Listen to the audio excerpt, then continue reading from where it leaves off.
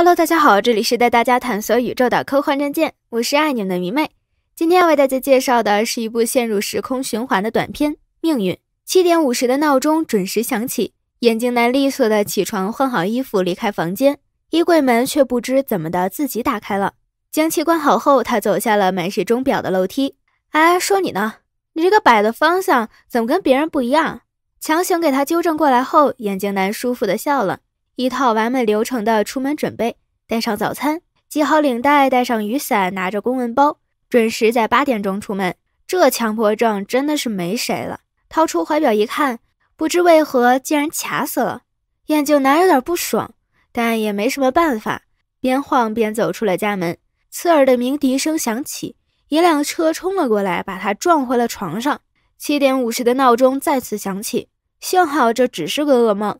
然而，当眼镜男起床准备换衣服的时候，另一个自己却从门外走了进来，给他吓呆了。上一个自己一直重复着自己做过的事情，并且他好像没有办法看到现在的眼镜男。现在的眼镜男只是个灵魂，他只能再次目睹自己被车撞死，然后再次从房间里醒来。这次房间里有了三个他，他仍然不知道该怎么阻止汽车撞死自己。突然，他发现。自己能够触碰院子里的小玩偶，于是他立马捡起来，朝那个疲劳驾驶的司机车窗砸了过去。本以为自己可以幸免遇难，但汽车还是好巧不巧地砸到了他的身上。这次从床上醒来的眼镜男已经累了，他非常的惊恐，不知所措，直接摔下了楼，看着自己死亡。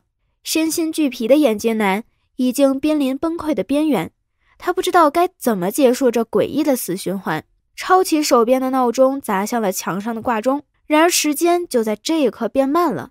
他小心翼翼地走下楼，突然看到远方的晨光。原来今天的天气这么好。他深深地吸了一口气，看着第一个自己拿着的那块怀表，轻轻地盖上了它。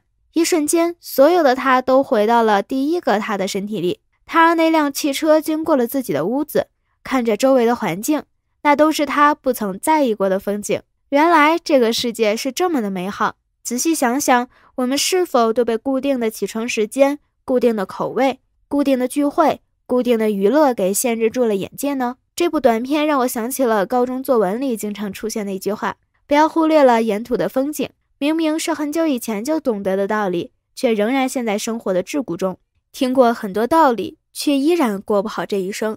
不过，你以为这样就结束了吗？天真。天要你死，你不得不死。好了，今天的电影就介绍到这里了。如果你点赞、关注、转发的话，我就陪你一起过想要的人生哦。